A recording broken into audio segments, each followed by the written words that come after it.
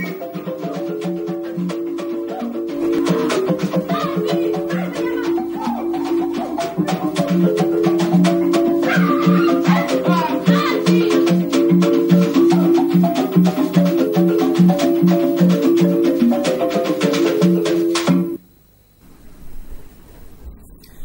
Mtazamaji, natumai mzima wa afya. Karibu sana katika kipindi cha Pambanua ambacho kama ilivyo ada, kila Jumatano ya mwisho wa mwezi kipindi hichi kinakuwa ni cha moja kwa moja kikikupatia fursa wewe mtazamaji kushiriki nasi kwa njia ya simu au ujumbe mfupi wa maandishi eh, kwa mada ambayo tunaijadili, na kubwa zaidi tunalotazama siku ya leo ni katiba inayopendekezwa. Kama unavyojua bado taifa letu liko katika mchakato wa kuwa na eh, katiba mpya na baada ya katiba hiyo kutoka au katiba inayopendekezwa kutolewa na ile bunge maalum la katiba, leo tuna uh, wadau kutoka uh, kituo cha sheria na haki za binadamu ambao watatuelezea uh, yapi wanaiona katiba, nini mtizamo wao, yapi yaliyo mazuri, yapi yaliyo mabaya, ikiwa ni sehemu basi ya kukupatia wewe mtazamaji elimu uweze kuifahamu kabisa hii katiba inayopendekezwa, ili tutakapokuja swala la kupiga kura, basi ujue unapigia nini kura, na kama unaikubali unaikubali ukiwa na sababu zipi, na kama unaikataa unaikataa ukiwa na sababu zipi. Wageni wetu studio ni Hamisi Mkindi, yeye ni afisa dawati la bunge na uchaguzi kutoka kituo cha sheria na haki za binadamu, pamoja naye Anahenga ambaye ni afisa katika dawati la uchaguzi uh, LHRC. Karibu sana. Asante sana. Tunashukuru sana. Tuanze moja kwa moja, ni vipi katiba pendekezo mlivyoipokea? Tuanze na Ana. Uh, hii katiba kwanza kwa ujumla yake, tutazame tu maudhui kwa ujumla, mnaionaje? Kwa kwanza unaiunga mkono kwa mtizamo wako? Asante. Eh, labda kabla sijaeleza naunga mkono au siungi mkono, maelezo yangu nafikiri yata ya, mwishoni nitatoa hitimisho baada ya watazamaji kuwa wameelewa ni kitu gani ambacho ninakisema. Cha kwanza kabisa ni hii rasimu ya katiba, katiba inayopendekezwa, sio rasimu tena. Hmm. Katiba inayopendekezwa tumeichambua kama kituo, tumeichambua sana sana sana, tumeisoma mara nyingi mara nyingi na kurudia na kurudia, na tumeigawanya katika makundi mawili ya, ya tumeita sababu za kimaudhui, tunaona ina mapungufu. Kwa hiyo tumeona sababu mbili za kimaudhui na sababu za za kimchakato. E, kwa sababu katiba ili iwe bora mm. lazima iwe iwe mchakato ulikuwa mzuri, lakini na kimaudhui pia iwe nzuri. Japo maudhui hata akiwa mabaya, lakini kama mchakato ulienda vizuri, basi hiyo inakuwa ni katiba ambayo ni bora. Lakini sasa hii mchakato ulikwenda vibaya, maudhui pia yamekwenda vibaya, na mchakato ndio umesababisha maudhui yakawa yakawa mabaya. Swala la kwanza la kimaudhui eh, kwa sababu pia tunajikita kwenye haki za binadamu sana, ni kwamba haki za binadamu zimekosa ulinzi kwa sasa hivi. Eh, rasimu ya pili ilikuwa inaelezea kwamba haki za binadamu zitalindwa na hazitabadilishwa mpaka kwa kura ya maoni. Eh, ilikuwa inasema hivyo, lakini kwenye katiba inayopendekezwa hicho kifungu kimetolewa. Kwa hiyo hata zile haki ambazo zilishangiliwa, kwa hiyo kwa hiyo haki za binadamu katika ki, eh, katiba inayopendekezwa inasemaje? haijawekwa kwamba zina ulinzi. Yaani Ah, kuna kwa kukosa ulinzi. kuna kifungu kinasema kwenye rasimu ya pili hmm, kwamba haki za binadamu, masharti ya, ya, ya, ya sura ya tatu kipindi hicho ambayo ilikuwa ni haki za binadamu hayatabadilishwa isipokuwa kwa kura ya maoni. E, lakini sasa hivi hicho kifungu kimetolewa. Maanake hizi haki Lakini nikitazama hapa katika hii sura ya tano inasema haki za binadamu, wajibu wa raia, jamii na mamlaka ya nchi. Alafu inasema kwamba sura hii inahusu haki za binadamu, wajibu wa raia, jamii na mamlaka za nchi, na imegawanyika katika sehemu kuu mbili. Sehemu ya kwanza inahusu haki za binadamu na sehemu ya pili inahusu wajibu wa raia na mamlaka eh, za nchi. Kwa hiyo ni kwamba kukosa ulinzi wa kisheria au vipi? Maana Eh, naona amezitaja yaani na haki ziko nyingi sana, labda Eh, amezielezea. kwanza Eh, kwamba eh, haki za binadamu zimewekwa, sio kwamba hazijawekwa kwenye katiba inayopendekezwa, zipo. Ila sasa kwenye rasimu ya pili kulikuwa kuna kifungu kinachosema haki za binadamu hazitabadilishwa, yaani miongoni mwa vitu ambavyo havitabadilishwa vi- havitabadilishwa ho- yaani kwamba itatokea tu asubuhi bunge limekaa likabadilisha haki mpaka kuwa kuna kura ya maoni, yaani ni ngumu, zilikuwa zimewekewa kufuli. Eh. Sasa sasa hivi hicho kifungu kimetolewa. Maanake zile haki ambazo ambazo tumesikia watu wanashangilia, kuna haki za wasanii, kuna haki za nani, kuna haki za wafugaji. Maanake siku yote tu bunge linaweza likakaa likazibadilisha likasema haki hamna, hii ipo au zikajipangua namna ambazo zinakaa. Kwa sisi ule ulinzi tumeumia sana kwa sababu hizi haki za binadamu ni vitu ambavyo haviondosheki. Huwezi kuondosha haki. Huwezi kusema leo mimi nina, nina haki kama mwanamke au nina haki kama kijana au nina haki kama kama mtu mwenye ulemavu, baadaye ukasema au hauna hauna basi. Baadaye ngawe hauna. Ni, kitu ambacho hakiondosheki. Kwa zimekosa ulinzi. Kwa zimekosa ulinzi. Naam, sawa. Lakini vile vile eh, rasimu ya pili ilikuwa inaelezea kwamba mikataba ya kimataifa ya haki za binadamu ambayo Tanzania imeweka saini na kuridhia ita, ita, itaibana Tanzania, yani itakuwa sehemu ya ya Tanzania ya, ya sheria za Tanzania. Kwa mfano, Tanzania imeweka sahihi mkataba wa watu wenye ulemavu wa dunia Mka, e, mkataba wa watu ulemavu wa dunia, mkataba wa kimataifa. Mkataba ule ukaletwa uka- Tanzania uka, ulisainiwa na ukaweka Tanzania ukaridhiwa uka-. Maana moja kwa moja mtu anaweza akaenda mahakamani kusema im, tume, e, Tanzania imevunja au mtu fulani amevunja kifungu fulani cha mkataba wa kimataifa, kifungu fulani cha mkataba wa kimataifa wa haki za watu wenye ulemavu, kifungu fulani cha mkataba wa kimataifa wa kupinga ukatili na kadhalika. Kifungu kile kilikuwepo, lakini sasa hivi kwenye katiba inayopendekezwa hakipo. Na watu wengi ikiwa wali- walikuwa wana wasiwasi nacho, walifikiri labda tutachukua hata sheria mbaya za kimataifa na nini, lakini kile kifungu kinasema ni mikataba ambayo Tanzania imesaini na kuridhia, na kuridhia hawa- hawaridhilii kule, wanaridhia kwenye bunge la Jamhuri ya Muungano wa Tanzania. Kwa hiyo itakuwa imepitiwa kwenye bunge, alafu ndio ina, inafanyiwa kazi. Kwa hiyo hicho kitu kifungu kimeondolewa, lakini kingine ambacho ni kikubwa sana, kabla hatujasonga mbele, ni kwamba eh, kuna sherehe zimefanyika sana kwamba hamsini kwa hamsini sasa imerudi hamsini kwa hamsini ya uwakilishi wa wanawake kwenye jinsia, lakini ha- hamsini kwa hamsini kwenye katiba inayopendekezwa sasa hivi ndio haipo. Sasa ime- limetamkwa neno tu uwiano ulio sawa kati ya wanawake na wanaume, uwiano. Lakini kule kwa Warioba au kwa, kwa rasimu ya pili kwa inasemwa katika kila jimbo la uchaguzi kutakuwa na wabunge wawili mwanamke na mwanaume. Kuna mali nilikuwa nawaambia kwamba tutapata tutapata hamsini kwa hamsini bila change, yaani tutapata yaani lazima utapata hamsini kwa sababu kama kuna majimbo 25 na ukawa na wabunge wawili wawili mwanamke na mwanamume, utakuwa na wabunge hamsini na 25 kwa 25 watakuwa wana, wanawake 25 wanaume. Kwa hiyo wataongezeka pia watu wenye ulemavu na wenyewe pia itabidi wawe hamsini kwa hamsini. Lakini kwenye kwenye rasimu hii inasema tu itazingatia uwiano wa jinsia itazingatia. Kwa kuzingatia, unaweza ukasema "Ah, tumezingatia bwana, tumeweka weka wanawake wako 30 wanaume sabini, tumezingatia au wanaume 30 wanawake sabini. Kwa hiyo hicho ni kitu ambacho wananchi wengi wamesherekea wame lakini hawajakiona hicho kifungu kwamba kimerudi nyuma hatua kadhaa kutoka kwenye rasimu ya pili ya katiba. Naam, asante sana. Uh, kumbuka tu mtazamaji, bado tunaitazama katiba inayopendekezwa na bunge maalum la katiba la, ambalo limemaliza na imetuletea katiba yenye ibara 296 ambayo tutakuwa tunajadili ili kukupatia uelewa namna gani au yapi yaliyopo katika katiba hii pendekezwa. Hamisi, wewe kwa kwa mtizamo wako vipi hii- katiba pendekezo na Yunani? Ah, labda mimi niseme kwamba nianze kwa kusema kwamba ili kujua uzuri wa jambo lolote hmm, lazima uwe na kitu cha kulinganishia, kwamba kusema katiba yangu ni nzuri, ina maana kuna ziko ambazo umezipitia na unasema ni mbaya, kwa maana kwako ni nzuri. Kwa hiyo lazima uwe na ulinganisho. Kwa hiyo katika swala la katiba hii, katika uzuri wake na ubaya wake, kwamba mwanzo tulikuwa tunahitaji katiba mpya, wananchi waka ikatungwa sheria ile sheria ikaelekeza kwamba kutakuwa na tume, tume itakusanya maoni ya wananchi, maoni ya wananchi yatakwenda katika mabaraza ya katiba. Baada ya kuwa rasimu ya kwanza imetengenezwa, mabaraza yatatoa maoni yake, itatengenezwa rasimu ya pili ya katiba ambayo mwenyekiti wake ataiwasilisha katika bunge maalum la katiba ambalo lita, litaanza kujadili. Kwa hiyo hoja ni kujadili rasimu ya pili ya katiba. Kwa hiyo mpaka hapo tayari tulikuwa na rasimu ambaye watu wengi walionyesha kwamba wameridhika naye, kwa maana imebeba maoni yao.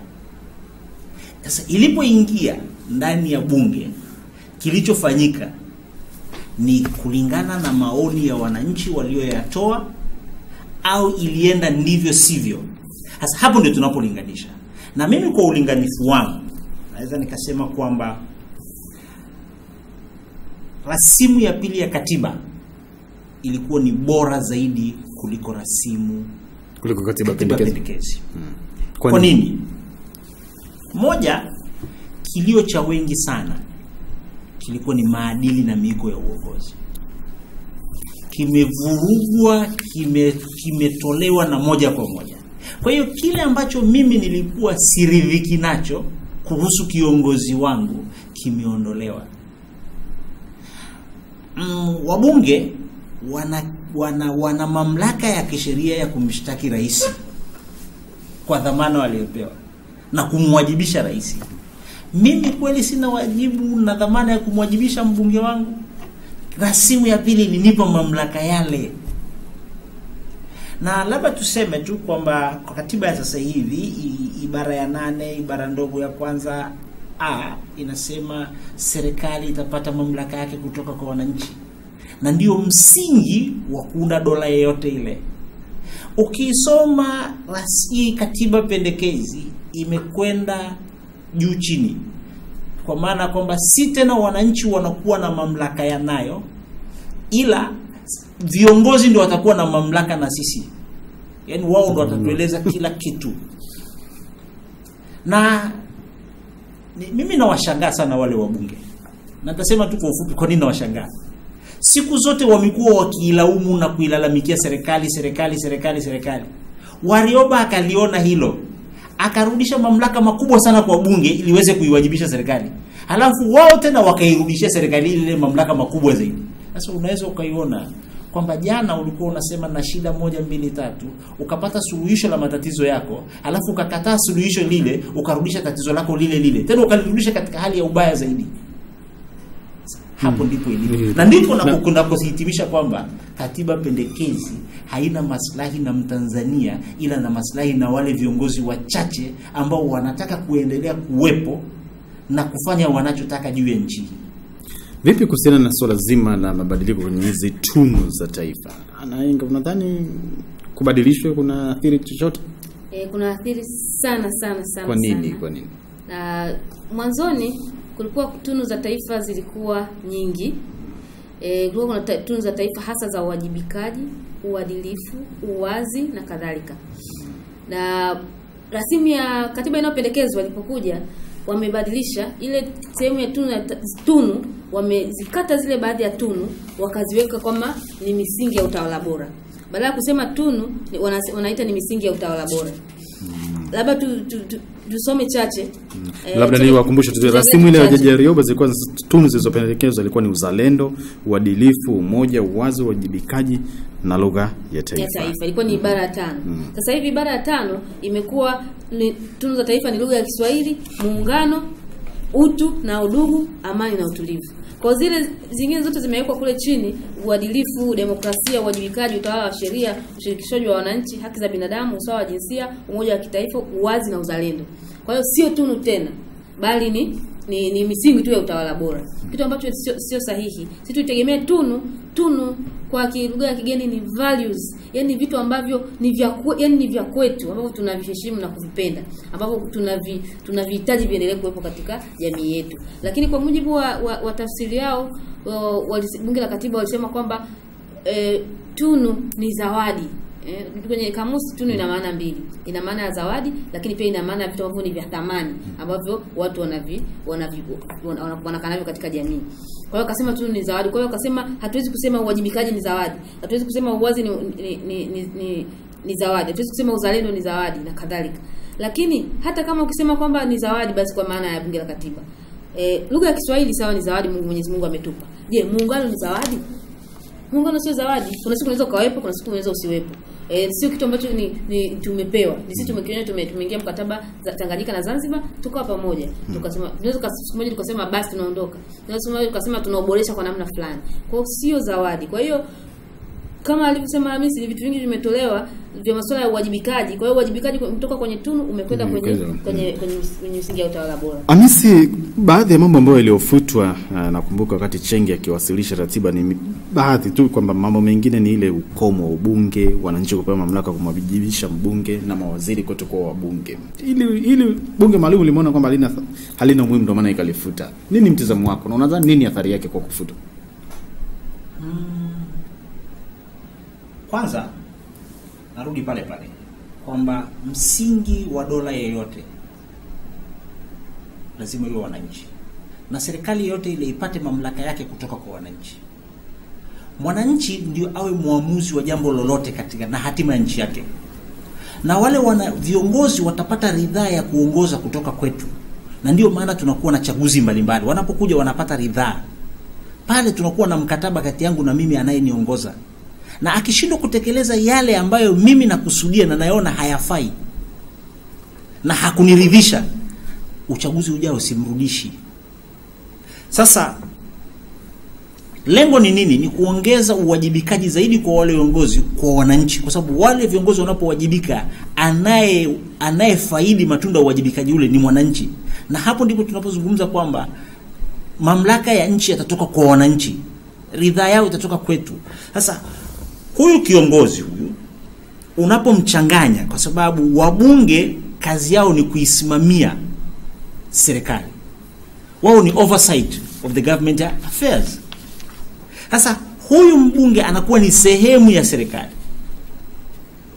Leo yeye anaacha kuisimamia serikali anakuwa ni sehemu ya serikali.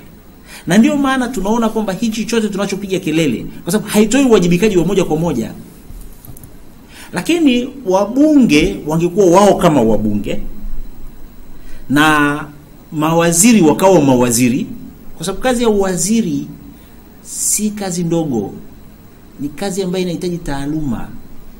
Kwa nadhani kwamba pia Kusimamia wizara- waziri angeteuliwa kutokana na taaluma, na taaluma zake na kila kitu Kwa kila idara, kwa kila kila idara watu ambao kweli wana, wanaweza kufanya lile swala hawa wakawa wanawasimamia hapo italeta uwajibikaji wa moja kwa moja.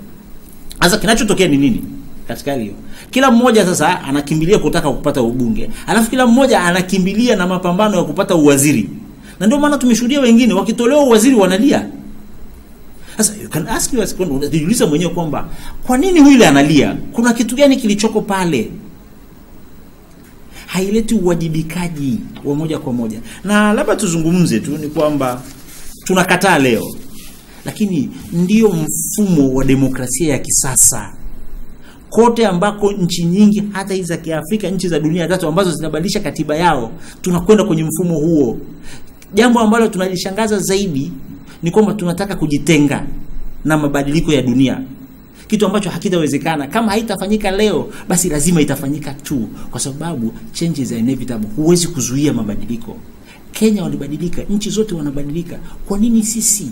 Asante sana. Mtazamaji, kumbuka tunaitazama tu katiba pendekezwa na tunao maafisa kutoka kituo cha sheria na haki za binadamu ambayo tunaangalia baadhi ya mambo ambayo eh, ni mazuri na yale mengine ambayo ni mabaya ambayo tunaona kwamba uh, sivyo eh, jinsi ilivyokuwa au mabadiliko ambayo uh, sio mazuri kwa kila mmoja kwa maoni ya, ya, ya, ya wataalamu wetu hapa. Kuna swala lingine ambalo uh, anahenga naona limeongezwa. Kuna zile sura ambazo zimeongezwa. Tu- Tuitazame ile sura ya tatu, ardhi, maliasili na mazingira. Kwa ujumla unaitazama vipi leo? Asante. Labda ni niruhusu kidogo niongezee kwenye swala la uwajibikaji, alafu nitakuja kwenye swala la swala la, sura ya tatu. E, kuna ki- kifungu cha mia moja ishirini na tisa au ibara ya mia moja ishirini na tisa ya rasimu ya pili ilikuwa inaelezea kwamba wananchi au wapiga kura watakuwa na uwezo wa kumuondoa madarakani mbunge wao endapo atafanya masuala yafuatayo. Kwanza, ataacha ku, kuunga sera za, za, za, wananchi wake, lakini pili, kama atakuwa hakai kwenye jimbo husika, haishi kwenye jimbo husika, labda kwa miezi sita na kuendelea bila sababu ya msingi na kadhalika na mambo mengine mengine. Sasa kile kifungu kiwa kizuri sana kwetu sisi wapiga kura. Sasa hivi kimeondolewa kwenye katiba inayopendekezwa. Kilikuwa ni kizuri kwa maana kwamba mbunge angekaa pale anajua kwamba mimi natakiwa nifanye kazi, niwajibike, la sivyo wananchi wanaweza wakaniondoa. Na sheria ilikuwa ime, imeagizwa, katiba ilikuwa imeagiza sheria itatungwa kuhakikisha swala linatekelezeka. Lakini kwa kifungu hiki limetolewa. Eh, kwa hiyo mbunge anaweza akakaa afanye kazi asifanye kazi, miaka mitano ikipita unaweza mkamchagua tena msimchague tena, lakini miaka mitano mmepata shida, mmepigika kwa miaka mitano, mna matatizo yenu, mbunge hamumuoni, anakaa Dar es Salaam, nyie mko na mpanda, mpanda huko wapi, hamumuoni mbunge, mbunge huko mjini. Baada ya miaka mitano anarudi tena, jamani, naombeni kura, simnaona nimeleta barabara, sababu barabara yenyewe imepita mbali, kwa sababu hafahamu ule uchungu wa, eneo mnaohusi- mna pale eneo husika. Kwa kile kifungu kimeondolewa, mimi kile ni kifungu cha uchungu sana kuondoka kwenye kwenye katiba inayopendekezwa na sababu ya kuondoka ni ile ile, kwa sababu wale wale waliokuwa wana, wana, wanaiandika hii katiba pia wana maslahi. Kwa kuna mgongano wa kimaslahi, kwa sababu kwa kuna wabunge, kwa kuna baraza la wawakilishi, kwa kuna kuna watu ambao wanataka kuwa wabunge, kwa hiyo kuna mgongano wa maslahi wa hali ya juu, kwamba naona kama nitaondolewa hata kikifungu. Sasa tukirudi kwenye sura ya tatu ya masuala ya mazingira, maliasili na kadhalika, hiyo sura ni mpya, haikuwepo kwenye kati, kwenye rasimu ya pili, na haikuwepo kwa sababu kwenye rasimu ya pili e, kwa, kwa muundo wa, wa serikali tatu, serikali ya Jamhuri ya Muungano wa Tanzania, serikali ya Tanganyika na na hizo nchi washirika sasa Tanganyika na Zanzibar e, ilikuwa ime, ime, imesemekana au ime, ime imeandikwa kwamba rasimu masuala ya ardhi kwa undani, masuala ya maliasili kwa undani yatashughulikiwa na serikali za nchi washirika. Kwa hiyo Tanganyika ndio ingetunga sheria, ingetunga katiba yake ikielezea masuala ya, ya ardhi, maliasili na kadhalika na kadhalika, na Zanzibar nao katiba yao itakiwa ielezee masuala hayo. Kama haielezei basi ibadilishwe iendane na katiba katika katiba ya Jamhuri ya Muungano wa Tanzania. Sasa kwa sababu serikali zimerudi mbili kama zilivyokuwa awali, ni lazima masuala yanayohusiana na, na ardhi yaongelewe, ya ndipo ikaongezeka hiyo sura ya pili ya masuala ya ardhi na, kwa hiyo kwa ujumla unaitazama vipi? Imekaa vizuri au kuna namna ingetakiwa ifanyiwe maboresho kwa mtazamo wako? Haijakaa vizuri sana kwa sababu kwa sababu jinsi ilivyo imechomekwa tu ili kuweza ku, ku, ku, ku, kufidia yale ma, masuala ya serikali mbili. Imechomekwa tu, yani ukiangalia imechomekwa kwanza iko juu juu sana. Eh, kama ilikuwa na nia madhubuti ya kui, ya kuifanya iwe vizuri zaidi eh, ingeweza kuwekwa ikaeleza na, na, na masuala ya mganyiko wa ardhi, ikaelezea hizo rasilimali zinakuwaje, rasilimali hizo zinalindwa vipi na kadhalika, lakini imewekwa juu juu ili tu kufidia kwamba jamani, tumesema Tanganyika haitakuwepo eh, basi tuweke masuala ya ardhi, maanake sasa kwenye katiba kwenye rasimu ya pili yalikuwa yanaingia kwenye katiba za nchi washirika. Maeneo yanayojadiliwa hii sura mpya inahusu ardhi, maliasili, mazingira na pia umiliki na utatuzi wa migogoro ya ardhi, umiliki na usimamizi wa maliasili za taifa, haki na wajibu kuhusu uh, mazingira kwa ujumla wake. Na katika hiyo labda uh, kabla hujaendelea, katika hiyo kuna kuna kifungu kipi ambacho pia uh, wanawake wenzangu tu walisherekea sana hmm. Lakini sidhani kama ilikuwa wanatakiwa washerekee. Kwa nini? Kwa sababu kinasema kinasema kwamba mwanamke ana haki ya kumiliki ardhi sawa na mwanamume. Hiyo sio hiyo sio haki mpya. Hiyo ilikuwepo toka zamani. Yaani sisi kwamba usisherekee ukapiga vigelegele kwamba hii, hii haki tumepewa tumepewa tumepewa. Hii imechomekwa makusudi ili uweze muweze kuunga mkono hiyo hiyo katiba inayopendekezwa. Kwa sababu mimi sina nasema. kwanza lazima tujiulize. Katiba pendekezi inasema ni katiba nini? Jamhuri ya Muungano wa Tanzania. Ardhi ni swala la muungano? Hapana. Kwa tayari tunatengeneza mgongano. Sisi tuko pamoja. Na inaelekeza kabisa kwamba ardhi, baraza la wakilishi zitatunga sheria na bunge litatunga sheria. Kwa hiyo maana yake ardhi si swala la muungano, na kama sio swala la muungano, tunawezaje kwenda kuliweka katika katiba ya Jamhuri ya Muungano? Maana yake tukiliweka hapo, kwa mujibu wa katiba hii, na mimi natakiwa niwe na haki sawa ya kumiliki ardhi Zanzibar. Nikienda Pemba nikitaka kupata shamba, lazima nipate shamba Kipemba kama ambavyo Mpemba akija bara au Mzanzibari akija bara anapata haki hiyo. Sasa katika misingi hiyo tutafika mahali tutapelekana katika mahakama ya katiba, kwa sababu mimi nitataka ardhi Zanzibar, kwa sababu hii ardhi ni swala la muungano, lakini ukienda kwenye orodha ya muungano ya mambo ya muungano ardhi haipo. Kwa hiyo italeta mgongano. Ita, swala kubwa, kwa sababu kuna vitu ambavyo vimefanyika tu kama kiini macho Si mimi naona kama vile kama vile poda ambayo upepo ukija inaondoka kwa sababu havisimami. Asante sana Hamisi. Na mtazamaji, tutakuja kwako kwa tuweze kupata maoni yako, lakini eh, anahenga, naona kitu cha sheria mliainisha kuna baadhi ya mambo kama 40 ndio anasema yuko kama 100 ambao mnaona yafai, kaweka kama 40 hivi. Hem, tudodole, ulianza kuyataja taja mwanzoni, mengine ni yapi ambayo mnadhani kwamba si mazuri? Eh, niliweza kutaja mengine, niwacha niendelee. Ku- Kwanza kuna vifungu pia vya vya urembo, tunaviita vya urembo au vya geresha. Eh, kuna haki za geresha ambazo zimewekwa tu pap, lakini hazitekelezeki. Kwa mfano haki ya afya, haki ya afya na maji safi. Tumekuwa tupigania siku zote kwa na haki ya afya. Eh, ilikuwa kama vile sasa, jamani, tuwafresh tuwafurahisheni hawa tuwape okay, haki ya afya. Lakini haki ya afya inasema kwamba haki kutokana na haki ya afya na mazingira, lakini haki hii itatekelezwa pale ambapo rasilimali zitaruhusu it, pale ambapo rasilimali zitaruhusu. Kwa hiyo ni ya urembo. Kwa hiyo ina maana imewekwa pale inaweza sitekelezeke maisha yote. Rasilimali si- ukija ukidai zinaambia rasilimali hazijaruhusu. Eh, basi. Kwa hiyo hiyo haki kama hiyo. Lakini kuna kuna kuna haki za makundi ambazo zimechanganywa ambazo ma, mahitaji yao hayafanani. Kwa mfano kuna haki ya wakulima, wafugaji, wavuvi na wachimba mado, wachimbaji madini. Yamewekwa pamoja ni haki, ni haki moja. Lakini mfugaji ma- mahitaji yake ni tofauti. Mvuvi mahitaji yake ni tofauti.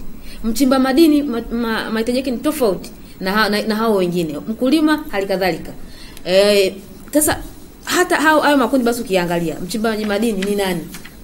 je ni ni, ni, ni yule mkubwa anayechimba na mashine? Je ni yule anayechimba na karai? Je ni yule ambaye anazamia yule wanamuita nyoka kule mererani?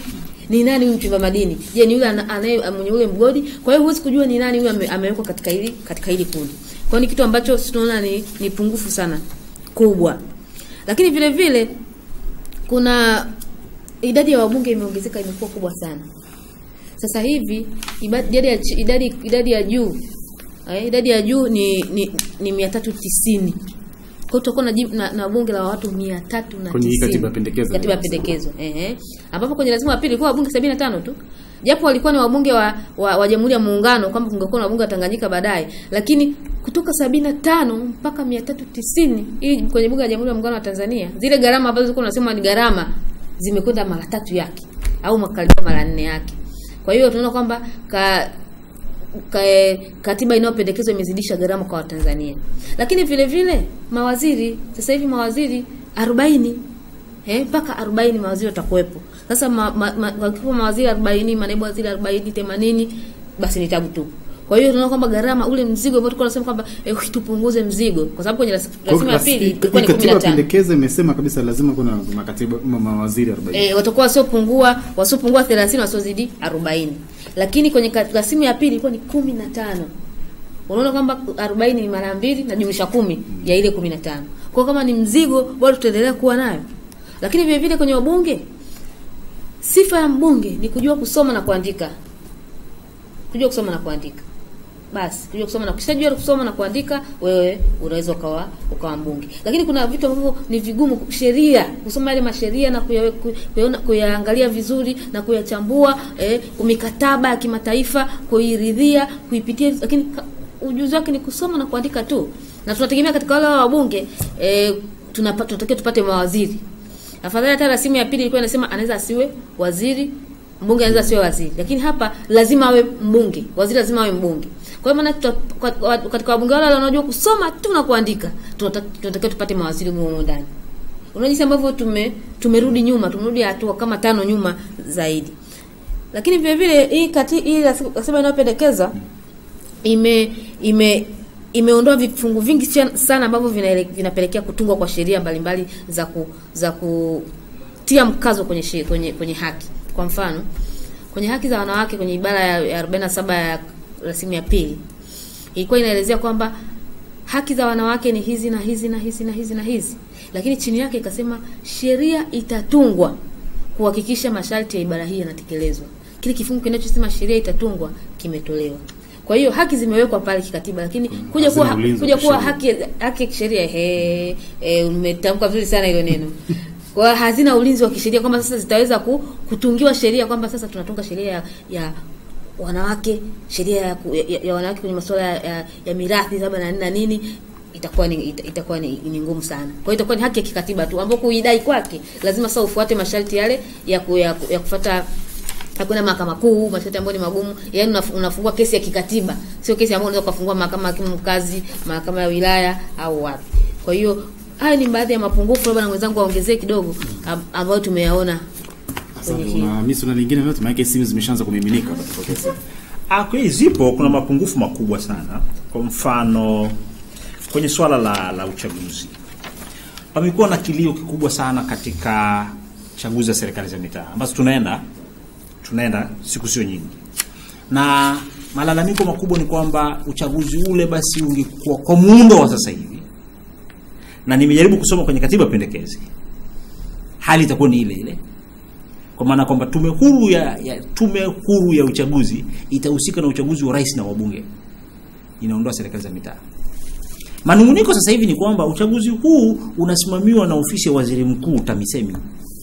Kule ndani ya ofisi ya waziri mkuu kuna kurugenzi ya uchaguzi, hii ndio inahusika na wenye viti wa vitongoji, wenye viti wa vijiji, wenye viti wa mtaa na diwani. Sasa hivi sasa hao wanaohusika hawa ni viongozi wa serikali. Serikali ipi iliyoko madarakani? Hii iliyoko sasa hivi. Na hawa nao siku nyingine wakiwepo wale wengine, trend itakuwa ni hiyo, wale watakaokuwa ni upinzani watalalamikia mfumo huu.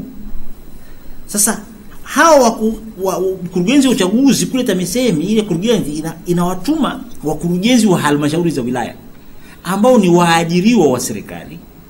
Serikali hiyo hao hao wanaenda wanawatuma maafisa watendaji huko chini, wanaenda kusimamia hii. Sasa hii inaleta mkanganyiko. Kwa hiyo tulitegemea katiba pendekezi ione kwamba hili ni tatizo na iondoe eh, hizi shughuli zote, ipeleke kwenye tume ya taifa ya. Katiba pendekezi imesema nini katika swala zima la uchaguzi wa serikali za mitaa? Tume huru ya uchaguzi itasimamia na kuendesha shughuli zote za uchaguzi wa rais na wabunge katika Jamhuri ya Muungano. Ibara ya 220 ibara ndogo ya kwanza a haijahusika tena na serikali za mitaa.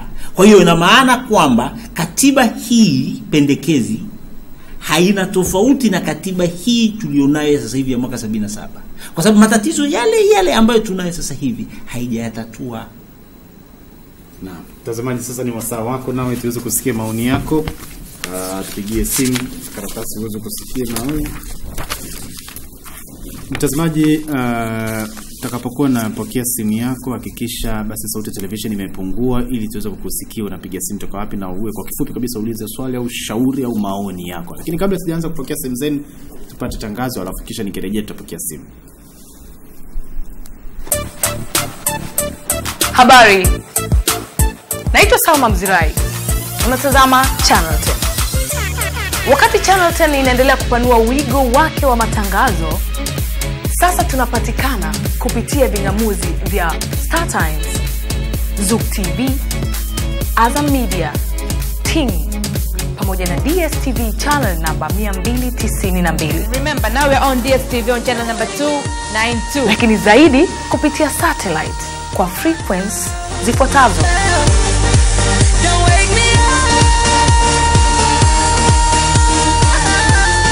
Channel 10 kilicho bora kabisa.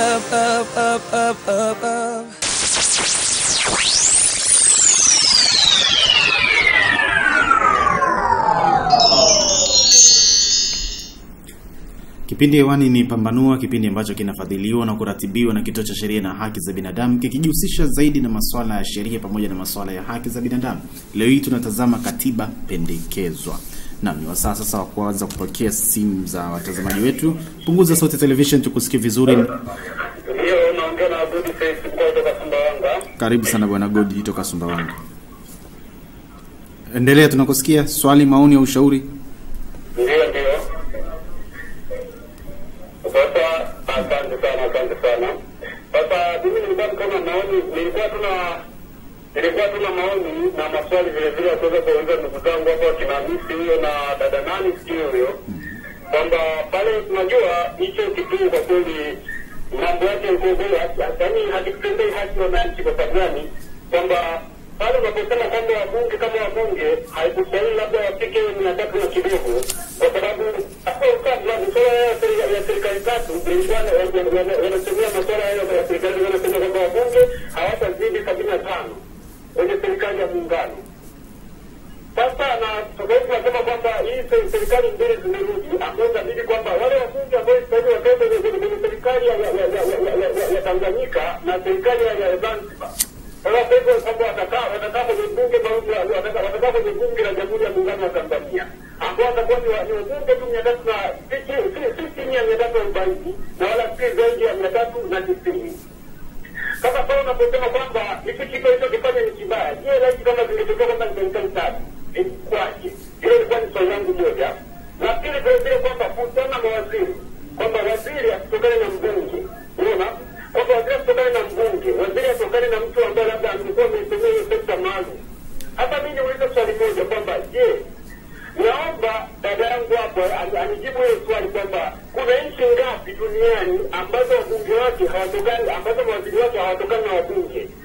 kwa sababu mi navyojua mimi mtu kama kaka mtu kama kawaida. Najua kwamba mataifa yenyewe na wabunge nje wenyewe na mawaziri nje ya wabunge ni mataifa mawili ambayo ni marekani na kenya. Ambayo ndio hii hapa kenya wewe ule mfumo wa waziri upate kutokuwa mbunge sahizi ndio wanaanza kulaumu tena kwamba hapana. Hii inatupeleka pabaya. Sasa huu mfumo kwamba unaposema kwamba umekosea kufanya hivi wakati wa mataifa yaliyo mengi waziri wake wanatokana na wabunge. Sasa hapo unakuwa unamaanisha nini? Na unamshawishi vipi mimi kama mwananchi unaona? Kwa hiyo vitu vingine kama hivi na vitu constantly.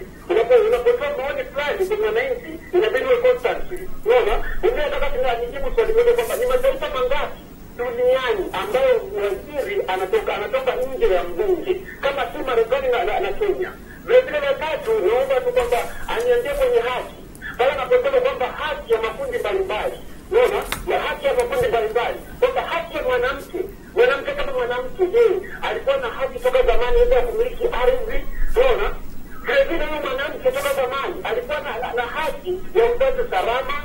Unaona, hata mimi ndio kidogo kidogo kwa kweli nasheki kidogo si sielewi kwamba hawa watu kwa nini wanaongea hivi. Je, yaani kwamba kila kitu kichotendeka na bunge maalum la katiba kwamba kinaonekana kwamba si si kizuri. Kwa nini si kizuri zaidi? Kwamba unaona kwamba vile kata tu wanieleweshe kwamba haki kama haki haki ya msanii, unaona, haki ya mkulima, haki ya mfugaji, haki ya mchimbaji mdogo mdogo wa madini, unaona. Sasa anasema kwamba hapa wangetenda haki, mimi nakuwa sielewi, unaona. Yeye ye- yeye anachosema- Kitendeka na bunge kama la katiba kwamba hakifai, unaona.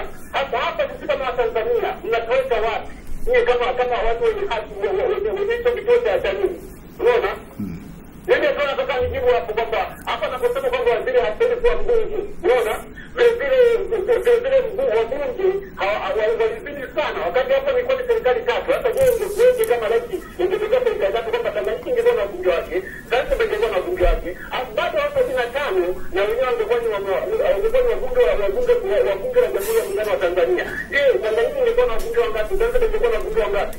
Na hawa sabini na tano unaona tunasema kwamba eti haki hapo miongoni wananchi ambao ni wa kawaida ni maswali yangu alikuwa ni yao ni maoni yangu ni naomba tu majibu ya maswali yangu matatu Shukrani sana asante sana bwana Godi kutoka Sumbawanga, tumekupata vizuri. Uh, tuje mwingine tena. Halo,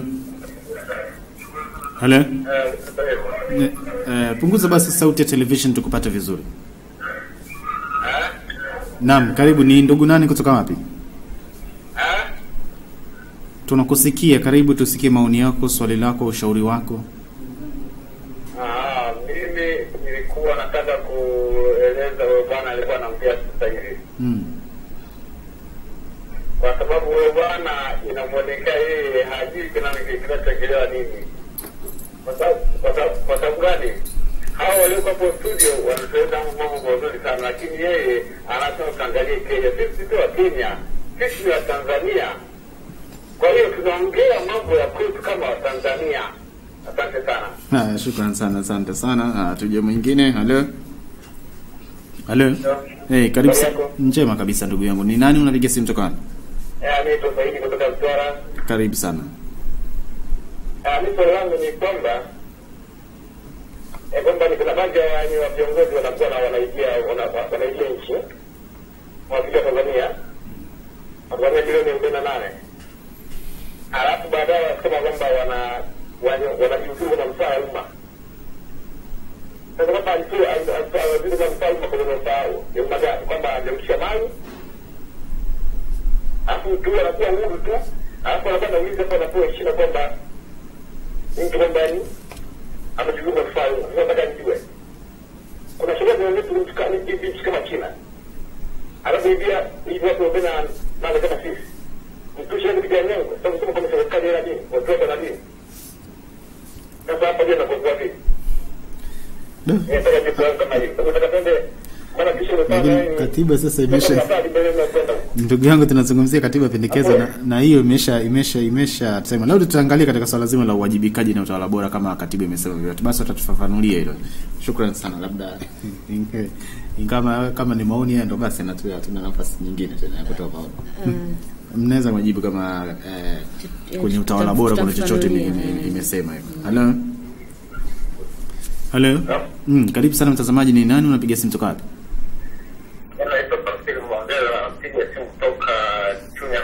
Naam kutoka chunya karibu sana bana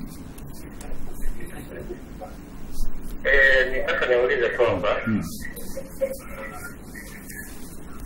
eh, nitaka niulize kwamba eh, tunakusikia endelea. hii katiba. Mmekaa wamekaa kwenye bunge la katiba, matokeo yake kukatokea ukawa ukawa kukawa kama na mgongano fulani hivi.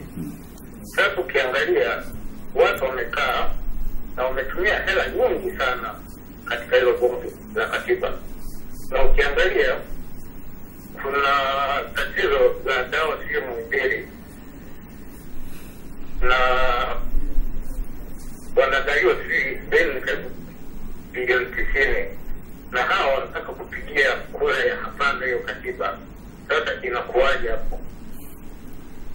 yaani sijakupata kabisa. Kwa hiyo ni nini? Maana leo sisi tunazungumzia katiba pendekezwa Eh, hayo ni mambo yameshatokea wewe ni maoni yako katika hii katiba ni yapi? Ulioyasikia au unavyoyafahamu unaionaje? Kwa mtizamo wako ni katiba nzuri ni katiba ha, nzuri kwa sababu hizi ni mbaya kwa sababu hizi ndio hicho ningependa kusikia lakini swala la dawa na kwamba wabunge wameingia wameshatoka huko sijui pesa zimetumika hiyo ni historia sahizi.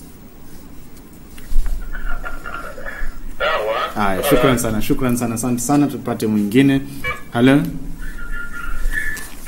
halo.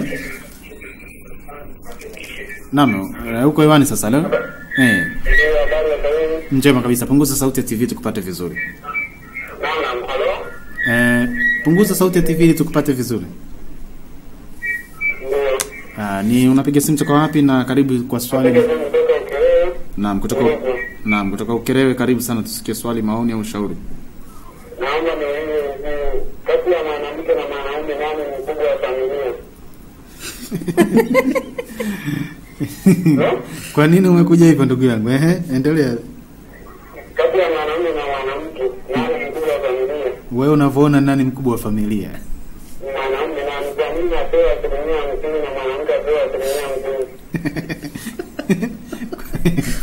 Haya bwana, kwa hiyo unapinga hilo likosiwepo na asilimia hamsini kwa hamsini. Eh, asilimia hamsini kwa asilimia hamsini ni- ni makosa kabisa, maana mwanaume inatakiwa awe mkubwa kabisa.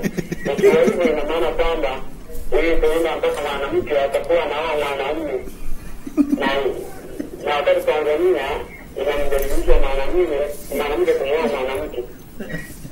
Haya bwana. Haya sana sana tumesikia. Na nipate simu moja ya mwisho ili niweze kuwaruhusu mfafanue maoni ya machache ya watazamaji wetu. Halo. Halo. Njema kabisa ndugu yangu. Ni nani unapiga simu toka wapi?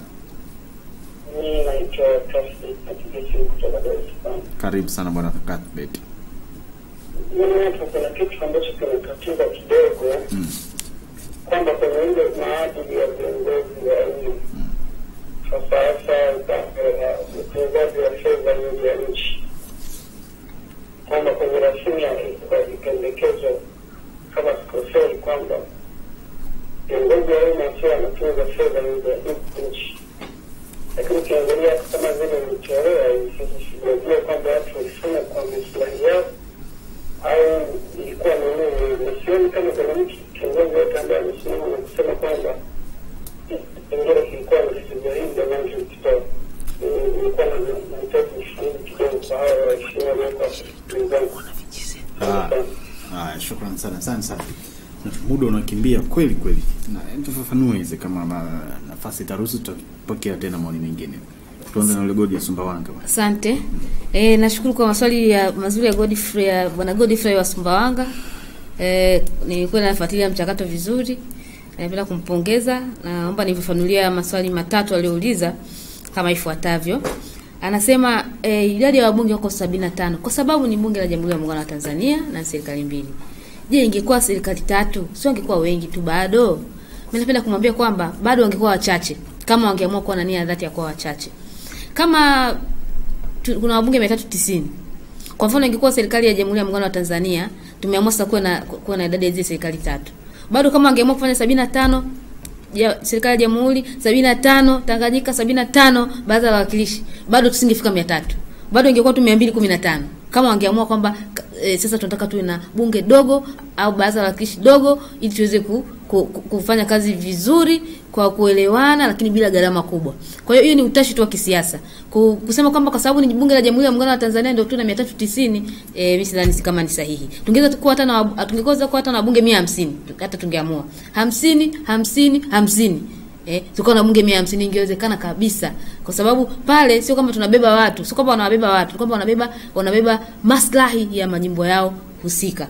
Kwa mfano kama nasema pili ilipendekeza majimbo ya uchaguzi 25 tu, machache tu Kwa hiyo katika majimbo ya uchaguzi 25 hata kama ni Tanganyika yangeweza kuwekwa machache hata zaidi ya hayo. Au kawekwa kama hayo hayo kwa 25 25. Kwa hiyo ni utashi wa kisiasa na kuona kwamba eh, nikiweka bunge dogo nitakuwemo. Nitakuwemo mle, sitakuwemo. Kwa hiyo nikiwa wengi nafasi za kuwemo zinakuwa kubwa zaidi. Alafu swala la kwamba waziri asitokane na mbunge anasema umeona wapi ameuliza umeona wapi mataifa mengine mbona hayana hiyo e, sisi tunachokisemea ni mgawanyo wa madaraka. Mgawanyo wa madaraka. Dola lina, lina, lina, lina madaraka tatu. Lina serikali lina bunge lina lina mahakama. Kunatakiwa kuna mgawanyo wa madaraka ukitamka kwa Kiingereza inapendeza kidogo separation of powers. Mgawanyo wa, wa madaraka wa, wa hii mihimili mitatu. Kwamba unapokuwa wewe ni waziri hapo hapo tena wewe ni mbunge.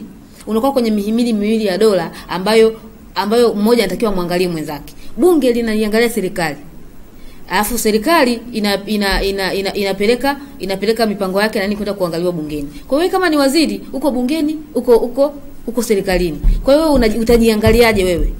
Utajiangaliaje? Hamisi hapa alisema kwamba kazi ya waziri tu ni kubwa sana. Atakumbuka saa ngapi kwenda jimboni kwake? Ndio maana tunalaumu wabunge wetu jamani wanakaa tu Masaki Oysterbay Dar es Salaam hawaji hawaji huku Ngara. Kwa sababu saa ni waziri na ni mbunge kwa hiyo hawezi kuja Ngara bado kuna mambo ya kitaifa yanamsubiria. Lakini kama kungekuwa kuna yeye ni, ni waziri tu pale anakwenda bungeni kama anapokwenda ku, kuwasilisha mambo yake kama waziri. Afu mbunge ni mbunge tu tusingekuwa tena mgongano wa maslahi kwamba mtu anaogopa kuikosoa serikali anaogopa sija aka, akaacha kute, kuteuliwa kuwa waziri. Kwa hiyo ni ile ni ile hiyo hiyo hiyo kanuni ya mgawanyo wa madaraka ambayo ndio tunao tunaoipigania na zamani labda mwalimu Nyerere kwenye vitabu vingine vinasema labda watu walikuwa wachache wasomi wachache. Kwa hiyo mtu anakuwa waziri hapo ni mbunge anakuwa mkuu wa wilaya na nini anakuwa na vyeo vitano mtu mmoja. Lakini sasa hivi wasomi wamekuwa wengi vyeo vimekuwa vimekuwa mia kidogo. Kwa hiyo kuna watu kwa nini tu tuchanganye vitu viwili sehemu moja? Kwa hiyo hiyo ndio ndio nia ndio nia ya ya kusema kwamba kuna mgawanyo wa madaraka. Sio lazima waz- waziri sio lazima atokane na mbunge. Haki ya makundi mbalimbali amesema haki ya kumiliki zamani wanawake walikuwa na haki ya kumiliki? E, kimila hawakuwa na haki. Lakini kisheria toka zamani walikuwa na haki. E, toka shituka sera ardhi toka sheria ya ardhi e, mwanamke hajawahi kunyimwa haki ya kumiliki ardhi. Labda kwenye sheria za kimila ndio zilikuwa zina zinazuia kwa hiyo kusema kwamba leo umeleta hiyo haki kwamba ni mpya sana sio kweli sio kweli kwamba ni haki ni mpya sana e, mwingine ameuliza kwamba Saidi wa Mtwa, sisi wa Kenya, nafikiri ni mawazo yake. Saidi Mtwa anasema viongozi wanawaibia wananchi vifungu vya e, ni kweli viongozi wanaibia wananchi e, kwa, kwa mujibu wa hii katiba inayopendekezwa ni kwamba vifungu vya uwajibikaji vimetolewa vyote. Tulikuwa tunacheka wakati tunachambua tulikuwa tunaangalia vifungu vya uwajibikaji vilivyokuwa kwenye rasimu ya pili na huku. Yani neno uwajibikaji tu likionekana mahali lilikuwa linatolewa. Unakuta kifungu kizuri lakini kama kulikuwa kuna uwajibikaji kimetolewa. Nafikiri ilikuwa kuna ile programu ya kompyuta ya kutafuta na kubadilisha hapo hapo kwamba uwajibikaji dash ndio nadhani ndilivyotokea vifungu vya uwajibikaji vimetolewa sana. Na hata tunu yenyewe kama tulivyosema hapo awali tunu ya uwajibikaji ilikuwa sehemu ya tunu lakini imeshuka wameweka kwenye wazima ni misingi ya, ya, ya, ya utawala bora. Kwa hiyo vimebadilisha sana na tunasikitika kwa hilo labda nisiongee sana nikukaribisha na Hamisi amalizia maswali mawili ili tuweze ku. Asante. Mimi labda nizungumze tu kwamba hapa kwenye swala la, la, la mifumo ya utawala nitamalizia na kwa haraka. Tu, tumeiga mfumo kutoka Uingereza ambao ni, ni, ni parliamentary system na sio presidential system, kwa maana ya kwamba bunge ndio linakuwa na mamlaka makubwa zaidi, lakini tukumbuke kwamba Uingereza wenyewe hawana hata katiba. Hawana kitu kidokumenti kama hii ambayo inaitwa kwa katiba. Wana sheria zao na taratibu zao tu. Kwa hiyo tu, tusi, tusifanye jambo kwa kuangalia mahali gani. Hata ingekuwa ni nchi moja duniani kama imeweza kuprove kwamba hilo jambo ndo zuri zaidi hilo ni, ni jambo zuri zaidi la kuiga. Haki haki za makundi mbalimbali amesema unajua walipokuwa wanatunga hii bunge bwana watu walipiga kelele. Na kilichofanyika kama nilivyokuambia tu ni urembo Si mnadai haki. Wakaziorozesha zote. Wafugaji wavuvi nyi wote simetaka haki. Lakini zinatekelezeka. Haki ile inapopindwa una uwezo kwenda mahakamani na kuidai na ukiipata haki hiyo. Imeandikwa pale alafu unaambiwa bunge litatunga katibu, litatunga sheria. Hiyo sheria wanaenda kutunga ni kina nani? Kwanza inatoka serikalini mawaziri ndio hao ambao ni wabunge. Watatumia iwe sheria tu ya mabadiliko ya katiba umeona walivyolumbana mpaka imekwenda tatizo. Na waliipitisha wao wao. Hao hao walioipitisha wakafika mahali wakaikimbia tena wakatoka nje. Kwa hiyo tuna aina gani la bunge? Hiyo sheria itakuwa na uzuri kiasi gani itakapokuja kutungwa kwa wakati huo? Itawezaje kujibu changamoto za wakati tulionao? Na kama itatungwa baadaye kwa nini isitungwe sasa hivi? Kwa nini tusubiri baadaye kwa hiyo tuna haki nyingi sana tuna mlolongo wa haki nyingi sana lakini haki zile hazina ulinzi wa kisheria kwamba ikipindishwa mtu aweze kwenda kuidai Asante sana, unaona muda unakimbia sana sana. Huyu Wekerewe anasema haoni sababu ya mwanamke na mwanamume kuwa na 50-50. Unaonaje? naomba ni- naomba nijibie naomba nijibie hiyo itakuwa na mgongano wa maslahi maana nani mwanamume Sasa, eh ndani mkubwa kati ya mwanamume na mwanamke mimi nasema wote ni sawa eh wote ni sawa. E, Kati ya kuku na yai, e, nianze. eh, kati eh, ni hiyo story ya kuku na yai kwamba mkubwa ni nani? Eh wote ni sawa. Katika katika haki za binadamu binadamu wote ni sawa. Wote ni sawa. Ndio wanasema kama ni umiliki wa ardhi iwe ni sawa. Lakini ukiangalia kwenye mahusiano ya kijinsia eh, ukiangalia kwenye mahusiano ya kijinsia unaweza kaangalia jinsi mwanamke ambavyo jinsi hata kama kwenye utendaji wa kazi tu mahusiano yale kawaida ya kila siku.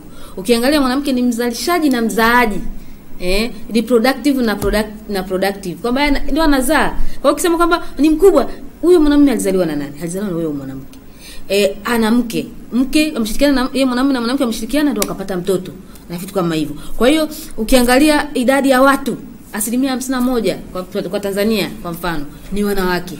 Ukiangalia anaye mkulima katika wakulima asilimia themanini ni wanawake.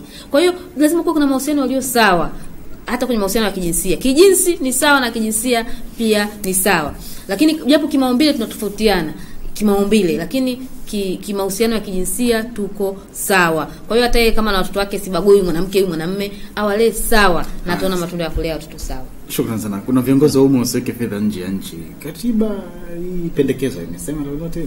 imesema serikali itatunga sheria kwamba ni ruksa lakini itaweka utaratibu Ah, kwa hiyo imeruhusu kwa fedha kuweka lakini sasa nikuulize swali moja tu. Waliokuwepo pale wakati wanaotunga kwenye katiba hii walikuwa wanatuhuma za kutu wana fedha nje ya nchi? Kama ni ndio ulitegemea watunge nini na naona ule unakimbia sana sana. Tunapomalizia, Anahenga, nini unapenda kuambia watazamaji wanaokutazama kuhusiana na katiba pendekezo? Asante. E, tulieleza sababu za kimaudhui za, za, za kimchakato tujaeleza kwa sababu ya muda, lakini wa, napenda tu kuambia watazamaji kwamba kuna sababu sababu hizi za kimaudhui zimesababishwa na mchakato uliokuwa mbaya na hasa hasa kifungu cha 22 cha sheria ya mabadiliko ya katiba kilichokuwa kinaweka wanasiasa wengi sana kwenye bunge la katiba. Kwa hiyo mgongano wa maslahi ulikuwa ni mkubwa sana. Mtu alikuwa ana- anatunga anajua mimi nitakuwa wapi kwenye hii kwenye hii katiba inayopendekezwa. Ndio matokeo yake tumepata haya mambo ya ajabu sana kwa sababu ya, ya mchakato kukosewa. E, kwa hiyo ilikuwa ni mtu anajiona nataka ni, ni, ni, ni nitakuwa wapi kwenye hii kwenye huu mchakato. Kwa hiyo mchakato umevurugika na kuna matatizo mengi. Nafikiri wakati mwingine tukipata nafasi tutaelezea mchakato jinsi ambavyo umevurugika, kulazimisha hata kura iwe kura si na wazi, kulazimisha pigi kura mtu atakuwa wapi. Vurugu zilikuwa nyingi sana, ili mradi tu kuhakikisha kwamba maslahi ya kisiasa yanalindwa. Kwa hiyo Asante sana Hamisi, kwa mtazamo wako, nini maoni yako kuhusiana na katiba pendekezo? maoni yangu ni kwamba utaratibu uliotumika kutunga katiba ile ni mbaya. Na tulishalisema mapema tulizungumza mapema sana kwamba wabunge wa- wasiwepo kwenye mchakato kwa sababu ya mgongano wa maslahi. Hawakutusikiliza matokeo yake ndivyo ilivyokuwa. Kwa hiyo kilichozaliwa kutokana na pale ni, ni, ni haramu imezaa haramu. Sasa mwisho tu niseme kwamba watu waitafute katiba ingawa imekuwa tayari ni lulu haipo tuliahidiwa kila mmoja ataipata na sasubiri sana. Na zimetoka mbili kuna ya rangi hii hapa na ya zambarau. Ya zambarau naambiwa ina makundi maalum. Kwanza tupate majibu kwa nini kuna ya zambarau na hii? Lazima tupate majibu hayo. Kwa nini kuna ya zambarau na hii? Maana ya zambarau wamepelekewa mabalozi kwa taarifa zilizo rasmi na hizo ofisi za nje na nini. Kwa nini hivyo? Kwa nini tutenganishwe? Tupate majibu. Lakini vile vile tuyagaie wananchi wengi sana wapewe waisome. Halafu tuje kwenye ule msemo wa mheshimiwa rais kwamba akili za kuambiwa na za kwako. Changanya na za kwako. kwamba wapewe wengi alafu tuone watumie na wao akili zao.